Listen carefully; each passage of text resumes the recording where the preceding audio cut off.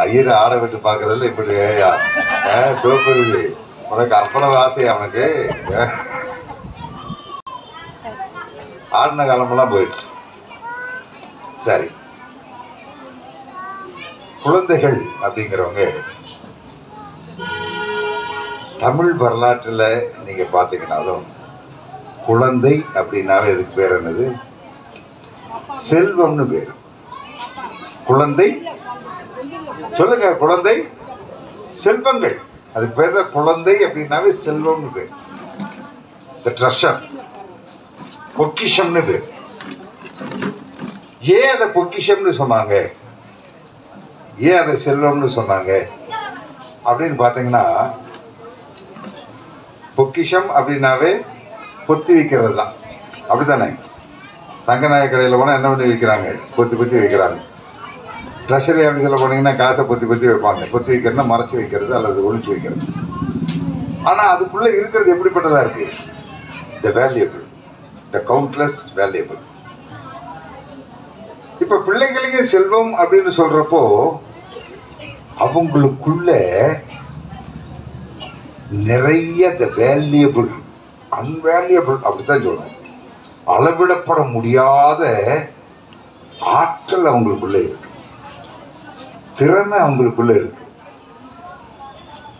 அவங்களுக்குள்ள சிந்திக்கிற திறன் செயல்படுகிற திறன் தன்னை வெளிப்படுத்துகிற திறன் ஆற்றல் ஆளுமை நிறைய இருக்கு. ஒவ்வொருத்தருக்கு சாமி ஒவ்வொன்றை கொடுத்துருக்காரு. ஒவ்வொன்றுக்கும் ஒவ்வொருத்தருக்கும் சாமி ஒவ்வொன்றை கொடுத்துருக்கிறார். யாருக்குள்ள என்ன இருக்கு அப்படின்னு நம்ம கண்டுபிடிக்கிறதுக்கும் அதை கண்டுபிடிச்சு உருவாக்குறதுக்கும் தான் சபைகளில் இப்படிப்பட்ட நிகழ்வுகள் நடத்துகிறோம் வசனங்கள் சொன்னாங்க. அருமையாக ஒரு குட்டி பாப்பா வந்து இங்கிலீஷும் தமிழும் கலந்து நிறைய சொல்லிச்சு. இந்த அவங்க பையனை மேலே ஏற்றுறதுக்குள்ள அப்பா அம்மா ரெண்டு பேரும் போடா போய் வசனம் சொல்கிறா போடா. அவன் ஃபேன் அவன் ஃபே நான் கவனிச்சுட்டே இருந்தேன். இப்படியே மண்டையாட்டிட்டு அதில் போறா ரெண்டு பேரும் போய் பிடிக்கிறாங்க. அவருக்கு கொஞ்சம் லேசாக அப்படி கோபம் வருது. அப்புறம் அந்த கோபத்தை அப்படி அடக்கிறாரு. போடா போடா. ஏற்றி விட்டோன்னா கட கட கட கட கடன்னு அடிக்கிறான் டான்ஸ் அவன் ஆடினதை பார்த்தேன் அருமையாக ஆடுறான். அப்போ அவனுக்குள்ள நிறையா இருக்கு. தோப்பு விடுதி சென்னையை விடுதி கரம்பக்குடி இங்கே இருக்கிற பிள்ளைக ஒருத்தரை ஒருத்தர்னால கம்பேர் பண்ண முடியாது. தோப்படுதியில் மூணு பிள்ளைங்க இருந்துச்சு. இடுப்பை என்னம்மா ஆடுது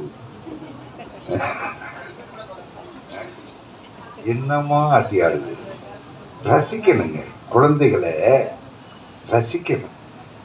நான் தான் முதல்ல சொன்னேன். குழந்தைகளுக்குள்ள நிறையா இருக்குது அவங்க திறமைகளை வெளிப்படுத்துகிறப்ப நம்ம என்ன பண்ணணும்? ரசித்து ரசித்து பாராட்டினா தான் அவங்களுக்கு என்கரேஜ் அடுத்த தடவை இன்னும் என்ன பண்ணுவாங்க? வேகமாக வருவாங்க. இங்கே மேடை ஏறிட்டான்னா உலகத்தில் எந்த மேடையும் ஏறுவாங்க. என்ன இது சாமி மேடை. நல்லா புரிஞ்சுக்கணும் இந்த மேடை எந்த மேடை? சாமி மேடை. சாமி மேடையில் ஒருத்தன் ஏறிட்டான்னு வைங்க. உலகத்தில் எந்த மேடை வேணாலும் ஏறுவான். அவனுக்குள்ள என்ன ஆகிடும் தைரியம் நம்பிக்கை. ஏன்னா கூட்டத்தை பார்த்து இந்த சின்ன பிள்ளைய விட்டு ஆட சொல்லிச்சுன்னா இவன் ஆட்டம் அப்படியே போடுறான்.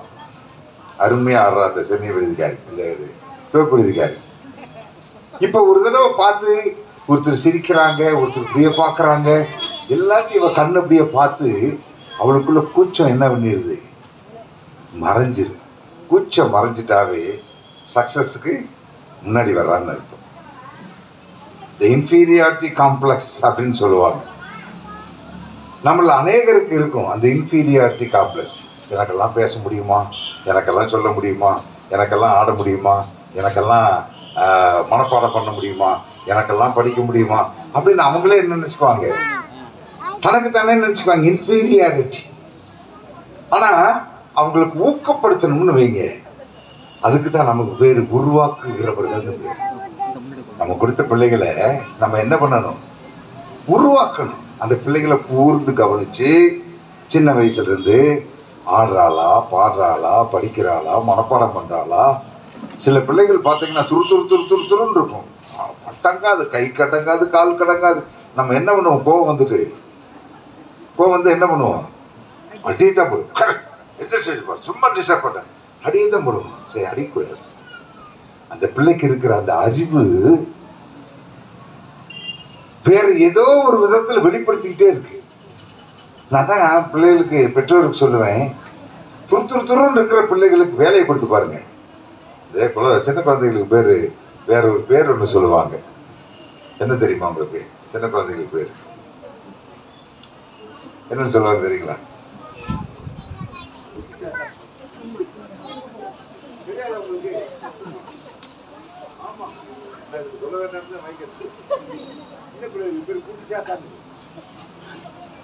சும்மாவே இருக்காது அதுக்கு வேலையை கொடுத்துட்டு நான் செஞ்சுக்கிட்டே இருக்கேன். அது டயர்டாக வரைக்கும் வேலையை கொடுத்துட்டு அதுக்கு தான் நமக்கு அறிவு வேணும். அதுக்கு என்ன வேலையை கொடுக்கலாம் எப்படி கொடுக்கலாம் என்ன ஏது? அதுக்கு வேலையை கொடுக்கலையே அவன் சேலையை பிடிக்கும் என்னுடைய வையா இழுக்கும் முடிய பிடிச்சி இழுக்கும் என்னமா அது? அதாவது அதனுடைய செயல்பாட்டை அதனுடைய திறமையை வெளிப்படுத்துவதற்கு ஏதோ ஒன்றை செய்கிறது.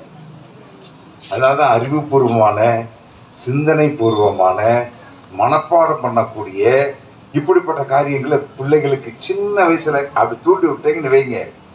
கரெக்டாக கேப்சர் பண்ண விட்டோம்னா நம்ம பயப்பட வேண்டியதில்லை. அதை பிடிச்சி நூலை பிடிச்சி அது மேலே ஏறி நூலை பிடிச்சி அது மேலே ஏறிடும். செய்ய வேண்டிய பொறுப்பு யாருக்கிட்ட தான் இருக்கு? நம்மகிட்ட தான் இருக்கு.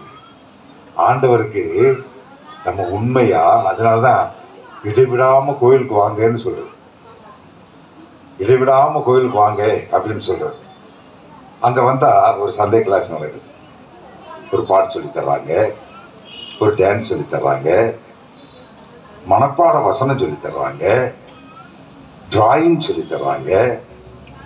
கிரியேட்டிவிட்டி அப்படிங்கிறது சொல்லி தர்றாங்க. பள்ளிக்கூடத்தில் இது கிடைக்காது.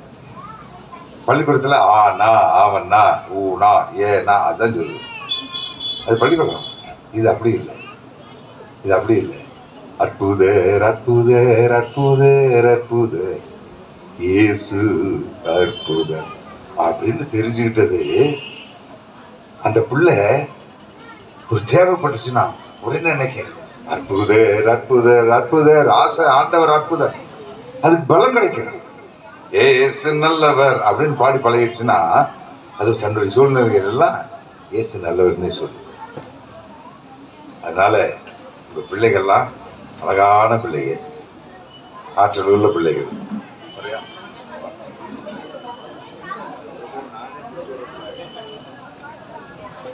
மைக்கு கைமாறுகிறது பாஸ்டர்மா அவர்கள் மேடைக்கு வந்து கர்த்தருடைய செய்தி அளிக்குமாறு அன்பு இருக்கிறது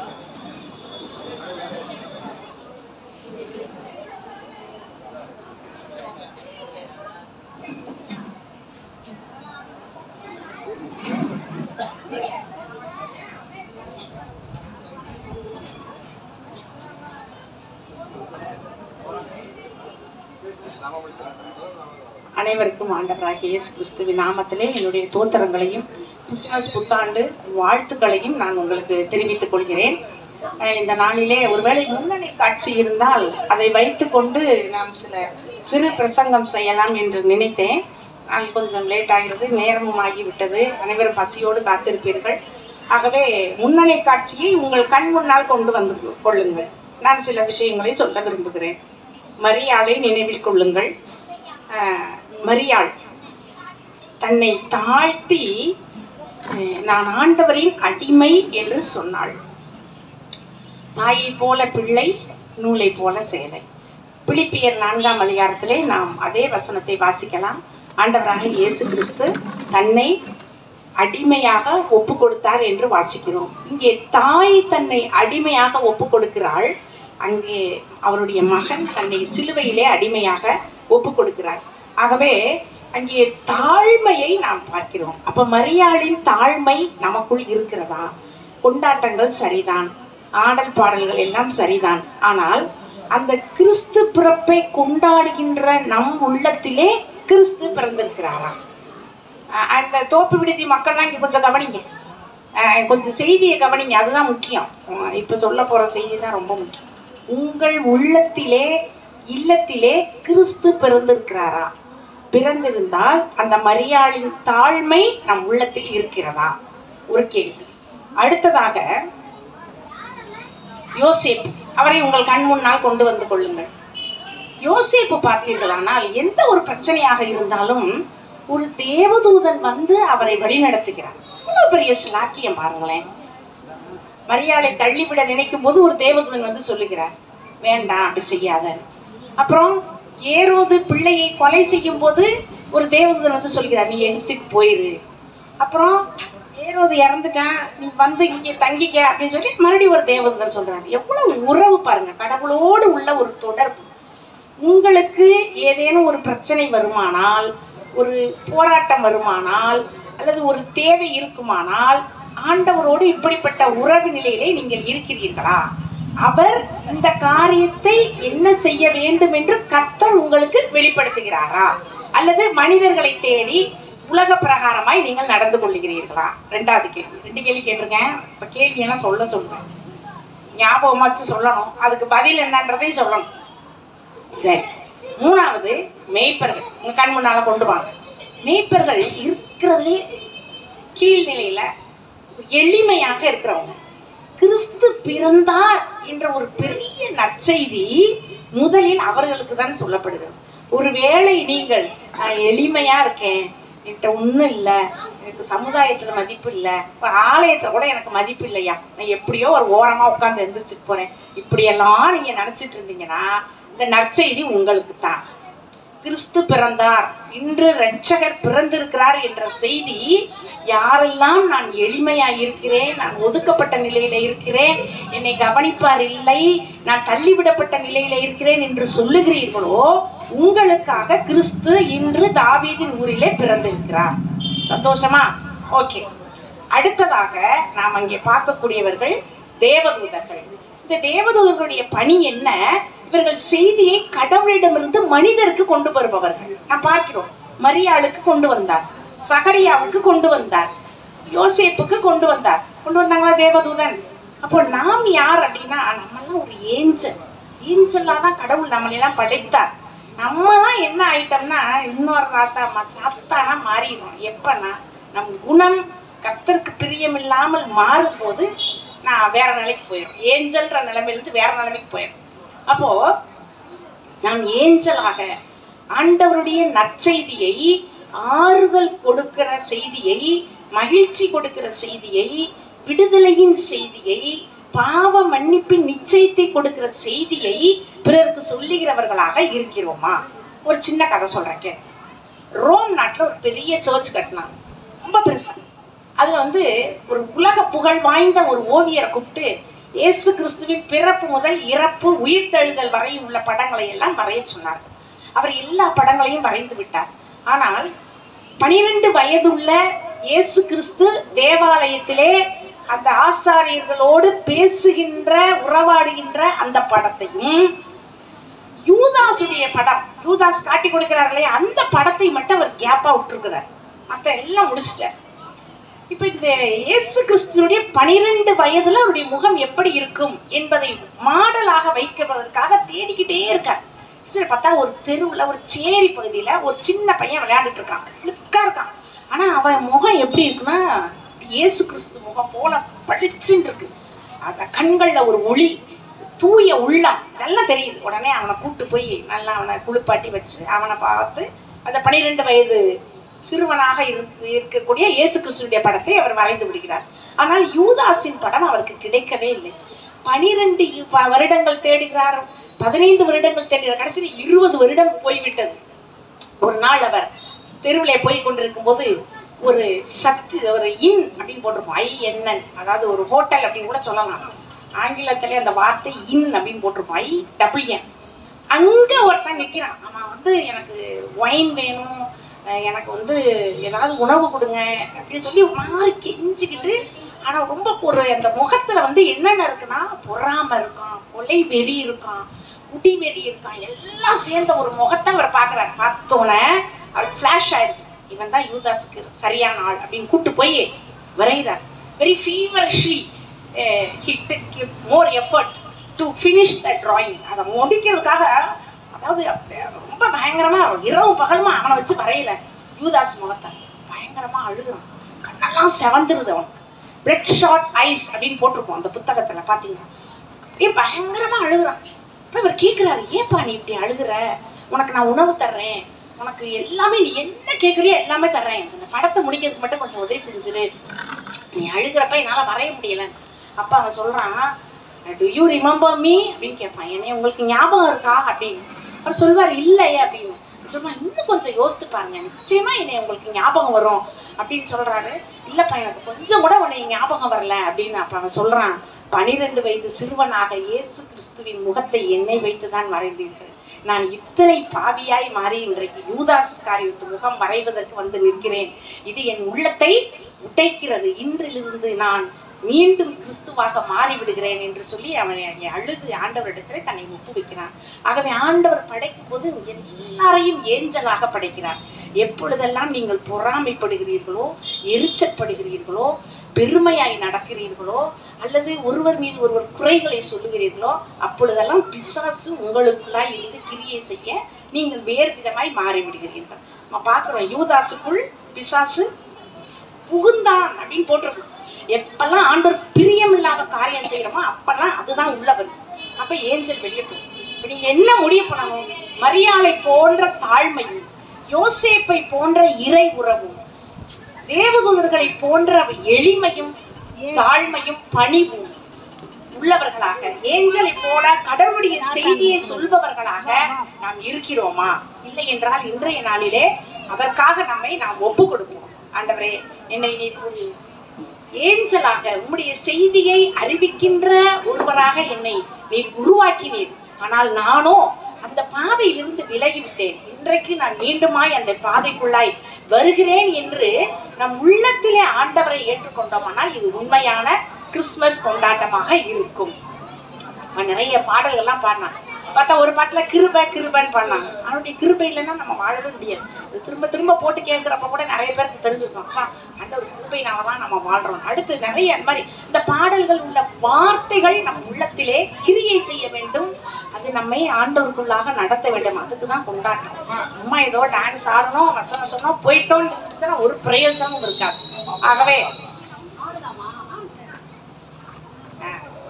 சரி ஒரு நிமிஷம் கவனிங்க. ஒரு ஜபத்தோட நம்ம முடிச்சிருவோம்.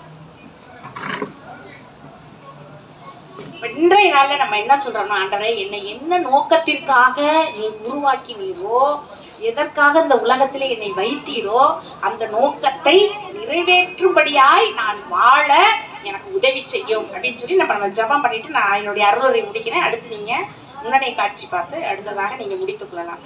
ஆகவே தயவு செய்து எல்லோரும் கண்களை மூடி யார் பேசுறாங்க எல்லாம் கண்ணை மூடுங்க. இப்ப கேளுங்க ஆண்டவர்கிட்ட எஸ் சுவாமி நீங்களை ஏஞ்சலா நீங்க என்னை படைச்சிருக்கீங்க. நான் அப்படியே இருக்கிறேனா? அல்லது வேறு மாதிரியாக நான் செயல்பட்டு கொண்டிருக்கிறேனா?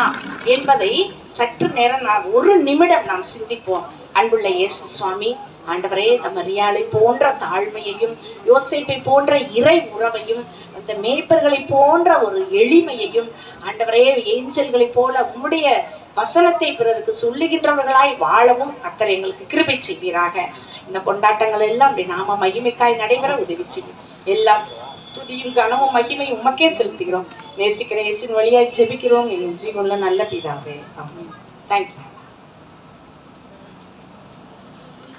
கிறிஸ்துமஸ் விழாவை மிகச் சிறப்பாக நம்முடைய கரம்பக்குடி ஆலயத்தில் வைத்து நம்ம நடத்துவதற்கு நமக்கு கடவுள் மிகப்பெரிய அருளை தந்திருக்கின்றார். கடந்த நாட்களில் நாம் இதை செய்ய முடியாதிருந்த சூழ்நிலையிலே இந்த ஆண்டு மிக சிறப்பாக இதை நடத்துவதற்கு ஆண்டவர் நமக்கு உதவி செய்திருக்கிறார்.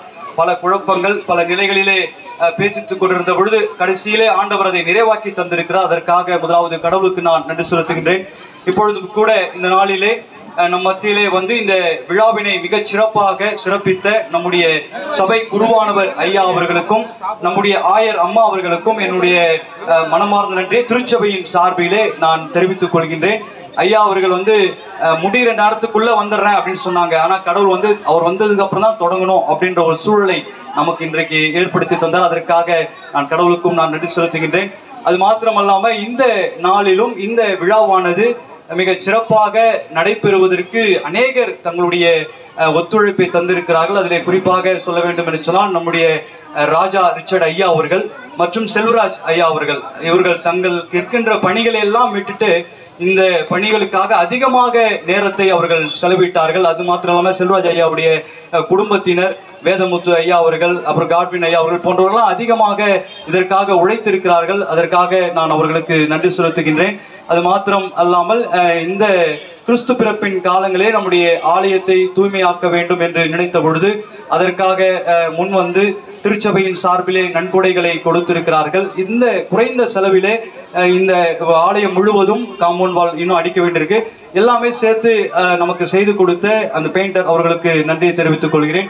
அது மாத்திரமல்லாம எலக்ட்ரிக்கல் ஒர்க் பார்த்தவங்க இந்த இடத்துல இந்த நாளின் விழாவுக்காக இந்த மேடையை அமைத்து கொடுத்தவர்கள் மற்றும் இந்த நாளுக்கான உணவு நமக்கு ஆயத்தம் செய்து தந்தவர்கள் போன்ற அனைவருக்கும் என்னுடைய நன்றியை அஹ், உபதேசியார் ஐயா அவர்களோடு சிதராஜ் ஐயாவோடு இணைந்து திருச்சபையின் சார்பிலே நான் தெரிவித்துக் கொள்கின்றேன். அது மாத்திரமல்லாமல் இந்த நிகழ்வை நமக்கு ஓஸ் பண்ணி கொடுத்த ஐயா அவர்களுக்கும் என்னுடைய எங்களுடைய நன்றியை நாங்கள் தெரிவித்துக் கொள்கின்றோம். மீண்டுமாக கடவுளுக்கு நன்றி செலுத்தி மீண்டும் வருடம் வருடம் இப்படிப்பட்ட நிகழ்வுகளிலே இன்னும் அதிகமாக நாம் ஆண்டவரை மகிமைப்படுத்த நாம் திட்டமிடும். கடவுள் நம்மை ஆசிரியப்பாராக இப்பொழுது நம்முடைய நிறைவு ஜெபத்தையும் ஆசீர்வாதத்தையும் ஐயா அவர்கள் நமக்கு வழங்குவார்கள்.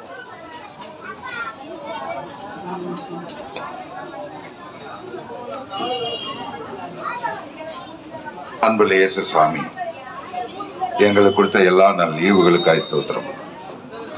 கரம்பக்குடியிலே ஒரு நல்ல ஆலயத்தை வைத்து அதை சுற்றிலும் அநேக கிராமங்களை கொடுத்து அருமையான குடும்பங்கள் பிள்ளைகள் என்று சொல்லி ஆண்டவரே நீர் கொடுத்த ஆசீர்வாதத்திற்கு ஸ்தோத்திரிக்கிறோம். இன்றைய நாளில் ஆண்டவரே சிறுவருடைய கிறிஸ்துமஸ் விழாவாக கொண்டாட நீர் எல்லா விதத்திலும் எங்களுக்கு உறுதுணையாக இருந்திருக்கிறீர். இதற்காக உழைத்த ஒத்துழைத்த ஜெபித்த காணிக்கைகள் கொடுத்த டொனேஷன்ஸ் கொடுத்த எல்லாரையும் நினைவு கூறுகிறோம். ஆண்டவரே எங்களுக்காக ஆயத்தப்படுத்தப்பட்டிருக்கிற அப்பம் தண்ணீர் ஆகாரத்தை ஆசீர்வதி எங்களுடைய முயற்சிகளை வாக்கி செய்த கர்த்தருக்கு கோடி சோத்திரத்தை ஏறெடுத்து தொடர்ந்து நாங்கள் உங்களுடைய நாமத்தை மயம்படுத்த தயவும் கிருபையும் செய்வீராக இயேசுவை நாமத்தில் ஜெபிக்கிறோம். நல்ல பிதாவே. ஆமென். நம்முடைய ஆண்டவராக இயேசு கிறிஸ்துவின் கிருபை பிதாவாக தேவனுடைய அன்பு. பர்ஷாவின் ஐக்கியம் வழிநடத்தல் பாதுகாப்பு நம் அனைவரோடும் வந்து ஆசீர்வதி காப்பாராக. ஆமென். என் ஆத்மாவே கர்த்தரை சோத்திரி என் முழுவதுமே பரிசுநாமத்தை சோத்திரி என் ஆத்மாவே கர்த்தரை சோத்திரி கர்த்தர் செய்த சகல உபகாரங்களையும் மறவாதே. ஆமை thank you God bless God bless Happy New Year and a Happy New Year. We wish you a Merry Christmas and a Happy New Year. Christmas.